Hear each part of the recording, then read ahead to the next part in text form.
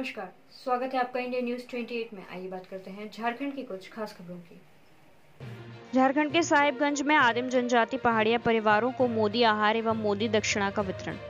भाजपा किसान मोर्चा के राष्ट्रीय अध्यक्ष जेपी नड्डा के आह्वान पर पूरे देश में आज सुदूर ग्रामीण इलाकों में सेवा ही संगठन है। कार्यक्रम के तहत हेल्प डेस्क लगाकर पहाड़ों पर बसने वाले आदिम जनजाति पहाड़िया परिवार के लोगों के बीच राहत सामग्री बांटी गई।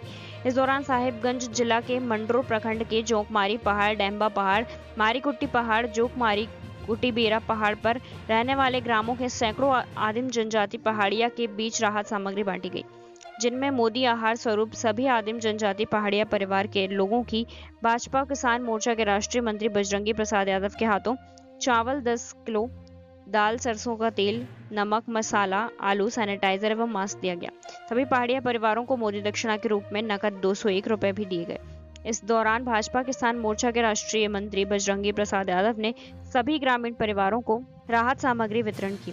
वहीं उन्होंने इस दौरान जिला प्रशासन से भी आग्रह किया कि पहाड़िया गाँव में एंबुलेंस के माध्यम से वैक्सीन दिया जाए। उक्त कार्यक्रम में मुख्य रूप से भारतीय जनता पार्टी किसान मोर्चा के राष्ट्रीय मंत्री बजरंगी प्रसाद यादव, संथाल बरगना, प्रभारी आनंद मोदी, भाजपा जिला उपाध्यक्ष चंद्रभान शर्मा समेत सैकड़ों लोग उपस्थित रहे। साहिबगंज संवाददाता उज्जवल सिंह की रिपोर्ट। भाजपा के राष्ट्रीय अध्यक्ष के निर्देशानुसार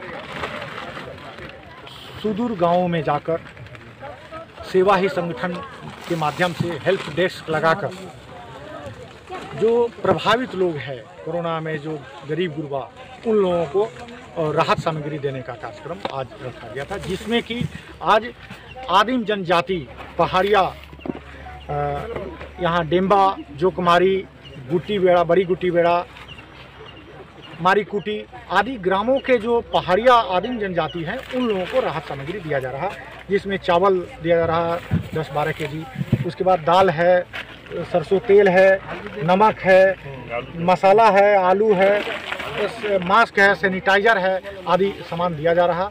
यही आज का कार्यक्रम है। कितने परिवारों को दिया गया आज? मैंने सैकड़ों कहीं एक सौ से ऊपर परिवार लोगों को दिया जा रहा।